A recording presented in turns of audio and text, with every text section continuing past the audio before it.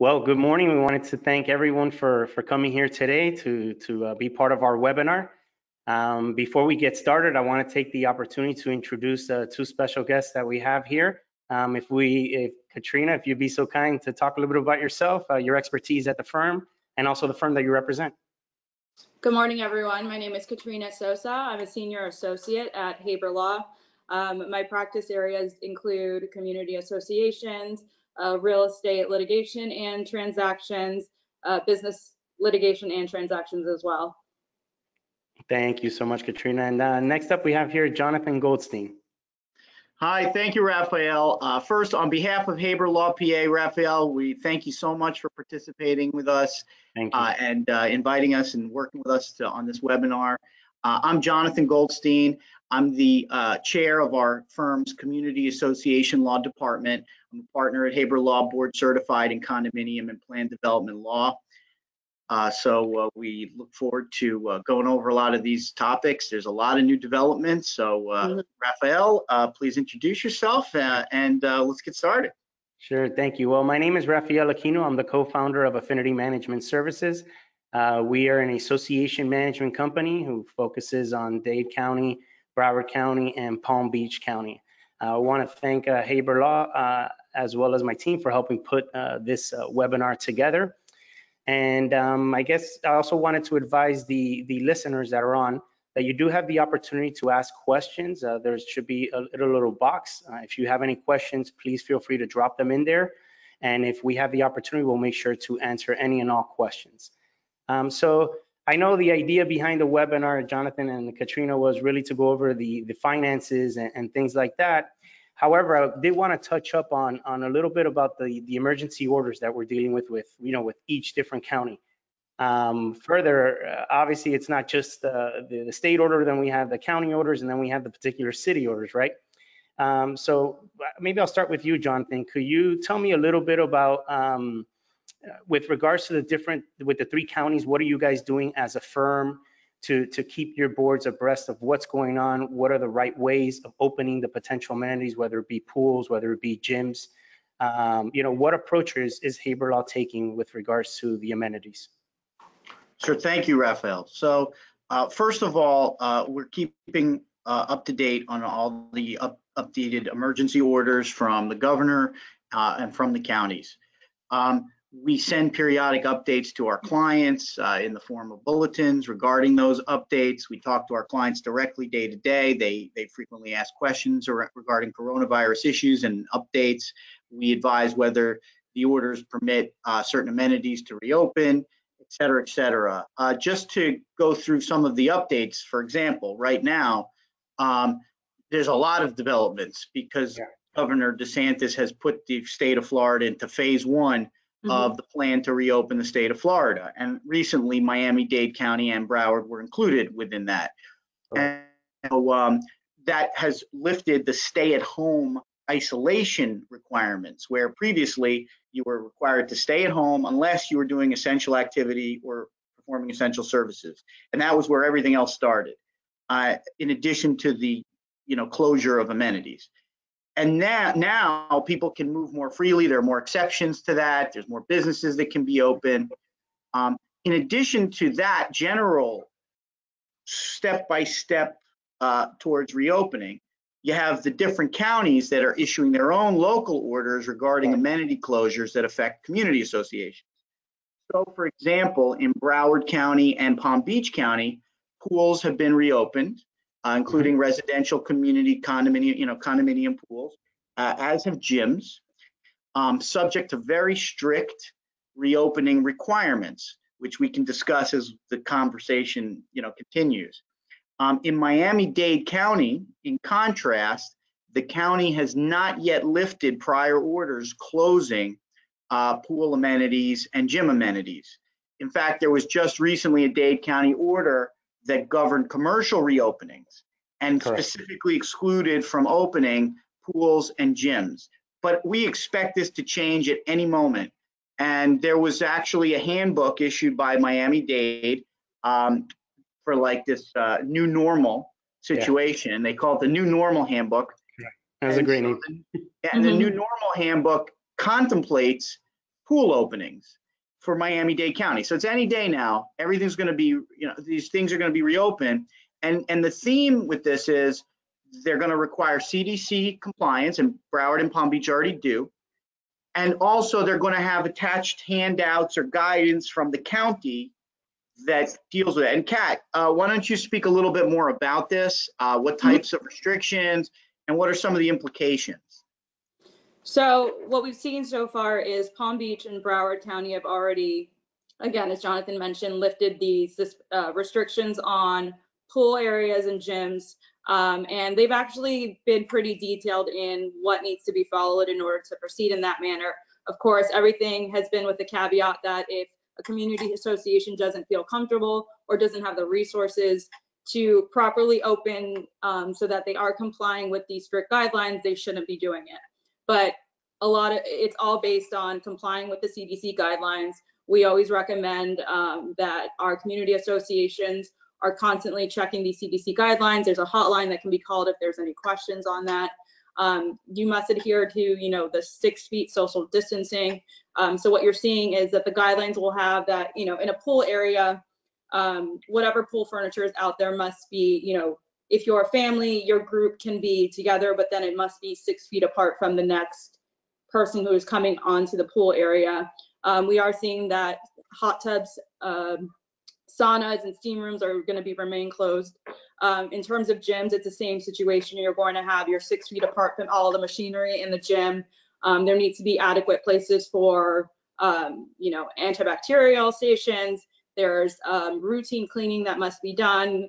Um, and the orders have done a good job of listing all of those guidelines so that there isn't, you know, any ambiguity as to what needs to be followed.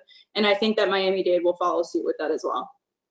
Yeah, excellent. So, you know, it's been interesting, at least for, from our perspective. Uh, you know, most board members have been doing the right thing, and you know, our approach uh, from management has been, look, let, let's work with our partners, with our attorneys, um, to understand this, because as you guys have mentioned, or both of you have mentioned, you know, things are changing by the minute. I mean, there's something that just changed yesterday that we'll, we'll, we'll go Mhm. into it. Um, but the challenges that that that I'm seeing, you know, we're reading in the paper about these very high-end buildings and the approach that they've taken, and, and it's been amazing. I mean, it's been amazing what they're doing. They have the resources. However, what I'm seeing is more with the, the normal association that is probably comprised 90% of Miami-Dade and Broward County. Um, they're having a challenge because they don't have the staff, or if they have the staff, it's really difficult to repurpose that staff for the specifics that are within the certain orders, right? Um, so with that said, you know, what recommendations would you give the regular associations that just don't have, you know, a monetary flow or the funds to be able to open the pools at the moment? Is your recommendation to keep them closed? Because I know we've been kind of pushing that with our clients to just, you know, take a, take it a little bit slower to open the process rather than what the county is doing. What, what's your, your take on that? I do agree that if you don't have the resources to, um, you know, be safely reopening your amenities, you shouldn't be doing that. That being said, I think a big consideration in that, in just making that decision is the size of the association, the number of people who will be accessing these amenities. Because if it is a smaller building, I mean, it, there's a higher risk of, you know, this COVID spreading again in a 200 unit building than a 50 unit building. So that's a consideration that maybe an association with less resources can think about saying, well, maybe we can still do this in, uh, you know, without having to really expend that much money on it. But if there's any doubt that you don't have the resources to safely reopen these amenities, I do think it's better to be on the more cautious side and hold off on that. Okay. Yeah, and to, to, to just elaborate on Kat's point, you know, the orders are, are some, most of the orders are very clear that you have to be able to comply. If an association doesn't think it can comply, and this goes to the general theme of the presentation Mhm. regarding finances, Yeah. because this is a major financial issue, because the Correct. costs of compliance really are onerous uh, to have that enforcement, and, and it's, and it can be impractical. And if the associations can't comply, they, they can't reopen. They're not allowed to reopen, I think, under the emergency orders. But it speaks to a bigger tension, this issue of if the association can comply, it speaks to the tension of, do members have the right for the association to reopen the pool? Right? Correct. And, and so, for example, you know, it's interesting because it all, it all starts with the general principle that the association members have a right to use the pool. That's, Correct. that's the general rule. But then if, if you're doing construction on the pool, it's closed, Right. right? So there's some sort of level of necessity where you can close the pool because of necessity. Does, does coronavirus rise to that level? I would argue it's certainly arguable that Definitely. even if the order doesn't require closure, there's some necessity that a reasonable board can apply to close the pool. But putting even beyond that, you have these emergency powers in 718 1265. And you have these emergency powers that basically allow the association to curtail the use of common elements because of guidance from health officials and municipal authorities. And so is it, and so based on those powers, associations are having a- another source of authority to close the pool, for example, and the gym. And so there's some debate about, you know, well, do the emergency powers really apply? And that's like a, a- a separate conversation we can have in regard to the emergency, the, the order from the Division of Condominiums that was entered yesterday, which we could talk about that. And so, but assuming the emergency powers apply, boards will also rely on that to close the pools. Um, so even though members might say, well, we have a right to use the pool, there's certainly arguments in the association's favor to close the pool on an optional basis, even though maybe they can provide the kind of enforcement uh, and uh, sanitation and CDC compliance that, you know, would allow them to reopen. Sure. So, so I'm going to leave it here with you, Jonathan. I wanted to ask this because I know this has been coming up a lot, especially with, with our clients. Um, number one, with that emergency order, so yesterday they signed, uh, the DBPR signed the emergency order 2020 uh, dash 06, right? And the order uh, basically looks like they're going to be lifting the emergency powers um, on June 1st, right? And specifically, they said sections one through nine. So let's say the, the, let's say a board took took the right steps, created some rules for the reopening of the pool, right? Um, and now come June 1st, will those rules still apply? And what specifically is that is going to be the impact of that order on June 1st? Okay, great. So this is a big topic. Uh, first of all, our, our understanding is the statute gives emergency powers. Yeah. Okay, and so the associations, when they consult with us about this, there's a statute that they can follow in their reasonable judgment and say, well, we interpret this to apply to us. And the question with the statute is, it only applies where there's damage caused by this, the event that led to the state of emergency. And Yeah. so as practitioners, we're like, damage could mean harm to individuals. Correct? I It would could hope mean a lot of, That's damage. And not to mention that damage could result because of people being ill and etc. But we think it, there's a great argument that it would apply anyway. But what the division did was they said, well, we're going to say that that damage clause, it doesn't really apply because of coronavirus. And so there's no limitation on emergency powers for these emergency powers. And they listed, you know, a range of powers in the statute that didn't include borrowing or the power to special assess without a member vote, right? Yeah. There was a power to special assess without a member vote or borrow without a member vote. The vision said that's that's going to be typical. You have to have damage. But for everything else, you don't need damage in order to use these powers. Um, let me just say this. I was always highly skeptical about the order from the beginning. Yeah, The, Okay. the division as an as an agency only has certain limited powers. The agency can do certain things, adopt rules, you know, it can declare, make declaratory statements and do disciplinary proceedings, right? And do arbitration. The division can't interpret the statute and have that be binding on the courts. And so really the, the order should be looked at within that narrow context that as far as the division is concerned, in its enforcement of its own narrow responsibilities, the division is going to ignore the term damage and going to see the emergency powers as applying. But after June 1st, within the narrow scope of what the division does, the division is going to look at that damage clause and may not say that the emergency powers apply. Who knows? So it's like really narrow, even though it seems dramatic, I read it very narrowly to only apply to what the division is doing within its jurisdiction. I don't see it as like cutting off emergency powers or ending them. The association has them or doesn't have them. A court will decide that. The division doesn't decide that. All the division can do is within its narrow role, it can do internal things to say, we're going to ignore whether there's damage or not. And we're going to mm-hmm. just assume emergency powers apply. So to answer your question in a kind of roundabout way, I see the division order very narrowly. Associations should consult with their legal counsel about the risks and rewards of using the emergency powers and what that entails. And there are other issues that aren't even contemplated by the division order. Like, for example, does the statute even apply to older condominium associations that do not have language in their declaration that uh, incorporates future Mhm. changes to the condominium act? Correct, like You know, the that's a coffin different language? issue altogether. The common language, You know, exactly. maybe the- Because the emergency powers were only enacted, you know, 10, 15 years ago, you know?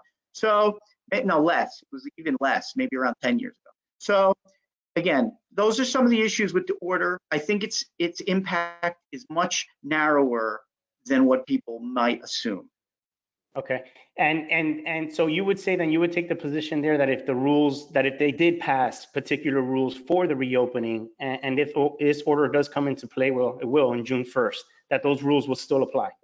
Yes, and that's, those rules are with legal counsel's guidance regarding an interpretation of their statutory mm-hmm. authority.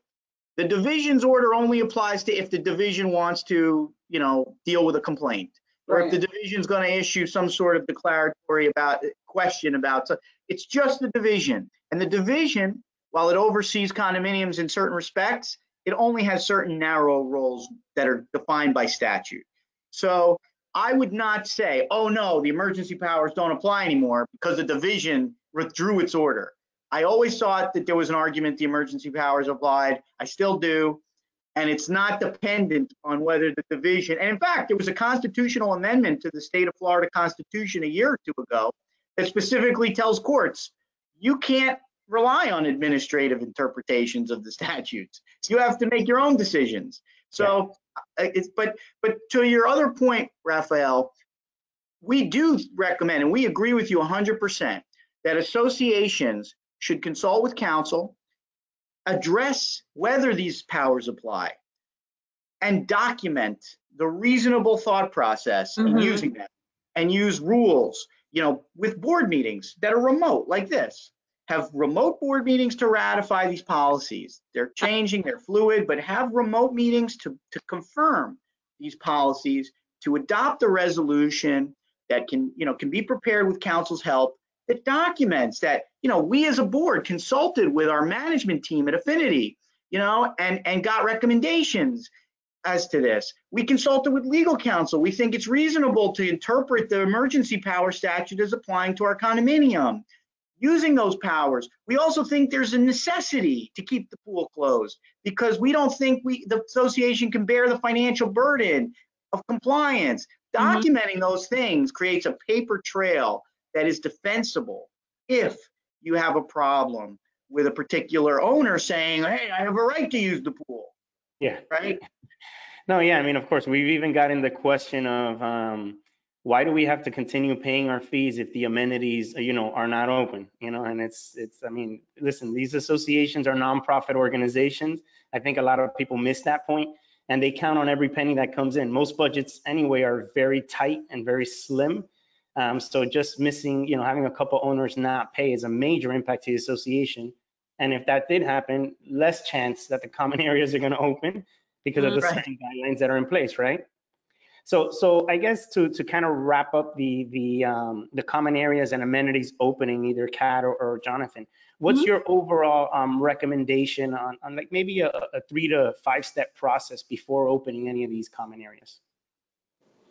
Um, well, I do think it depends on the area you're in, the size of your building, absolutely. And you do need to take a look at your budget and what resources you have to pay for, you know, whether it's additional employees to, because you do need to have, you know, your pool area and your gym area monitored to make sure that people are complying with the CDC guidelines um, and are actually doing their social distancing and wearing whatever protective gear they need to wear. You also need to pay for that uh, PPE. You need to pay for having um, additional places where you have, you know, antibacterial stations. You need to make sure that you're having people cleaning all the different areas. So making sure you have those resources, seeing if it's feasible. If it's a bigger building, I think erring on the side of caution because of the number of people who could potentially, you know, access the area, even at a reduced amount.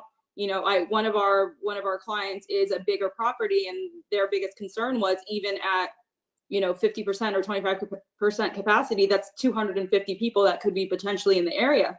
That's troubling. So Yep. thinking that, um, and really, because it, it comes to the association will, you know, expose themselves to liability if they aren't able to reach these CDC guidelines and adhere to the emergency orders that are being entered by all the different counties. Um, and it goes to a, you know, a standard of care, and you want to make sure that you're able to provide that standard of care. Jonathan, is Excellent. there anything you want to Jonathan, Yeah, I just would, Kat touched on one thing that I'd like for you to touch on as you add Sure. on to that, is the liability. Because we Yeah. are, we are getting that question a lot, of what are the potential liabilities that we can face as an association, as a board, and, and so forth. Sure. And first, I'll, I'll just kind of put context to that question.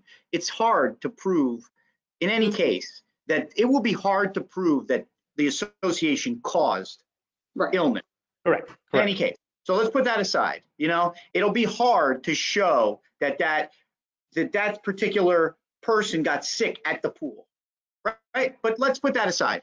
There's still a risk, and you still want to have reasonable care. Okay, um, reasonable care is documented the way I just described and you described, Raphael, with proper you know documentation and, and formalities. But there's other things that can be done, and I think the critical step by step as to to to build upon what Kat suggested, I think management, once you decide to reopen, would have to work with the board and have like almost a checklist Mhm. and say, look, here's the requirements in Dade County's, you know, handbook. Here's the requirements in Palm Beach County's, you know, guidelines, attachment six or whatever. Correct.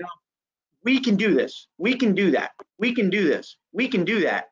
Then we have to have a plan. We will do it this way, that way, this way, that way. We will enforce it this way, that way, this way, that way. And then once you have that, you document it. And so you say, okay, because we've gone through that step, we can reopen, we will, but now we're going to give notice to all the members. And we're going to give a disclaimer. We're going to say, you're assuming the risk. We're going to put whatever open disclosures are required by the CDC Right. about social distancing and what have you. So we're going to be very active to give disclosures and say, hey, the association doesn't warranty your safety. Please see the declaration section that says we're not an insurer of your health and welfare and you're assuming the risk. We're, we can't be mm-hmm. liable. Please know that you're assuming the risk using the pool. We opened it, but we reserve the right to close it at any time if people are not complying.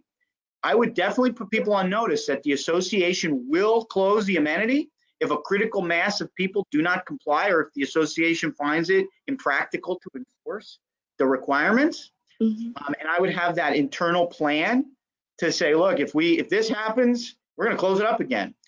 You could require a release. You could do more complicated things. You could talk to counsel about that. I'm not saying it's enforceable or not. I'm not going into the details of that, but you could talk to counsel about, can we require somebody to sign something to go to the pool or to do it electronically? So no, there's no, say social distancing. Uh, can you do some sort of system where you don't give access to the amenity to somebody who's violated a requirement in the past? There's all things you could do, but to protect from liability, you want to put those things in place. And, and I would do a disclaimer and uh, maybe a release, depending. That depends. I, I would Yeah. talk with counsel for the association about that. Yeah. Okay, all right, excellent. Um, so let's talk a little bit now about, about the finances and, and the potential impacts, right? Um, I know for us overall, we've been keeping a, a really close eye on what's going on with the receivables for, for our entire portfolio. Um, and, and we did see between February and March, it was normal. Um, uh, March to April, we saw about a one and a half percent, almost two percent increase. And now May, we have seen a slight jump uh, as well. Um, you know, we've gotten the question a lot from many board members uh, and, you know, what can we do to help out uh, these residents? And I think I said it earlier, we take the position that at the end of the day, you can't be waiving assessments, right? We're not Google making tons of profits and whatnot. Um, but when it comes to late fees, um, interest, and and and potential collections, uh, what's your take, uh, Kat, maybe on on what the association's approach should be? Um, well, the first thing is, um, under the statute, if it's, we've seen a situation where certain unit owners say, oh, can I forbear collection for a couple months? Um, I don't have the, you know, financial cap- capability to pay that right now. And the, the issue that unit owners need to understand is a- an association cannot forbear collection on one unit and not do it for the other, or they can't suspend assessments for one unit um, and not do it for the rest. So that obviously creates a large financial detriment to an association who the bulk of your budget is going to be collecting those monthly assessments. Um, in terms of, you know, collections, the more flexibility you have there is whether or not an association has the ability and is willing to, you know, whether it's waive a late fee for a shortened amount of time or um, depending on what your governing documents say, do the same with interest. Um, Jonathan, is there anything else? Yeah, I mean, I would say that uh, first, I, I agree. Uh, you know, of course, I agree with Kat. You know, in terms of you can't waive assessments or excuse payment of assessments. Um, you can potentially. You have to look at your governing documents in every case, but you can potentially, you know, excuse late fees, but not picking and choosing, doing it across the board.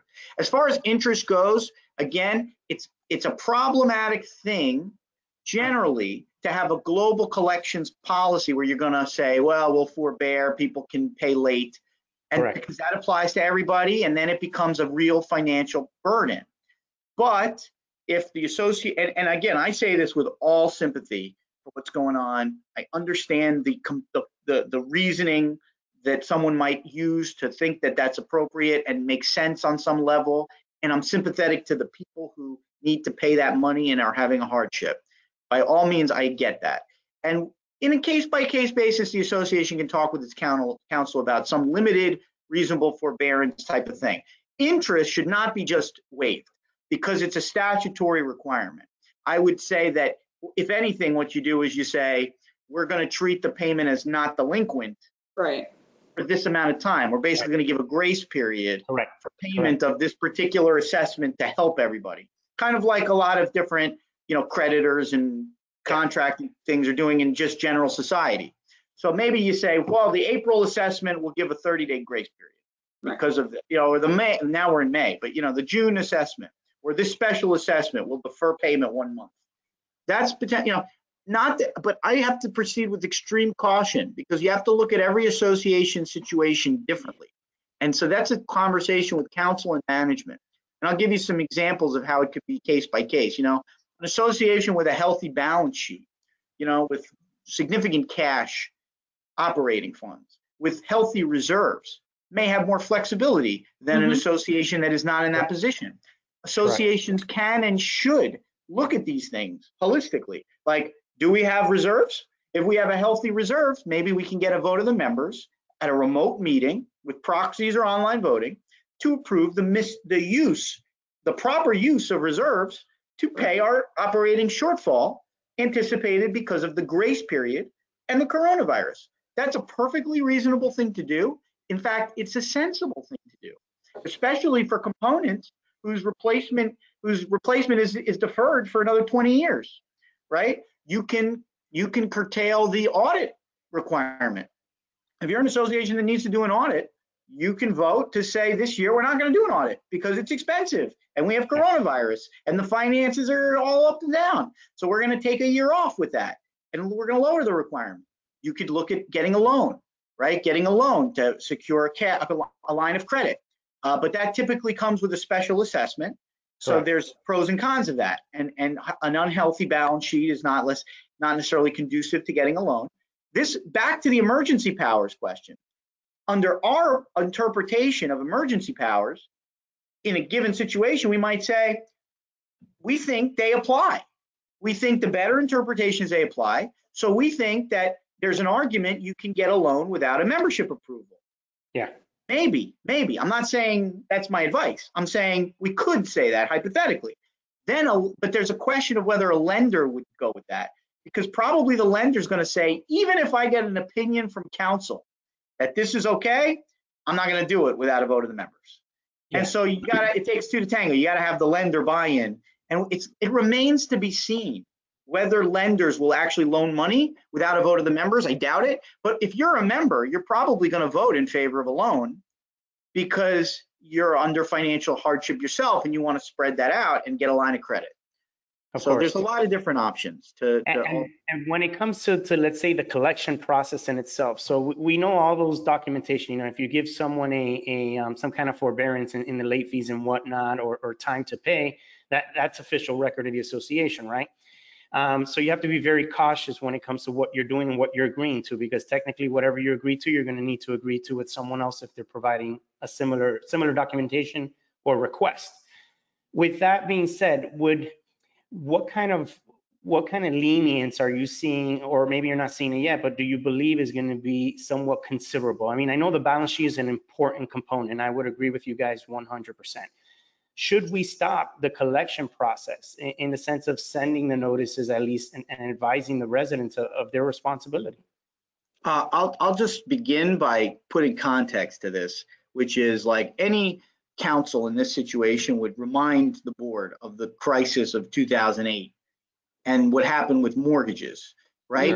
Because, Yep. because when, because there's the mortgage issue. And if the mortgage takes title and begins a foreclosure, the association could be in a position where it can never collect that debt from the Correct. owner.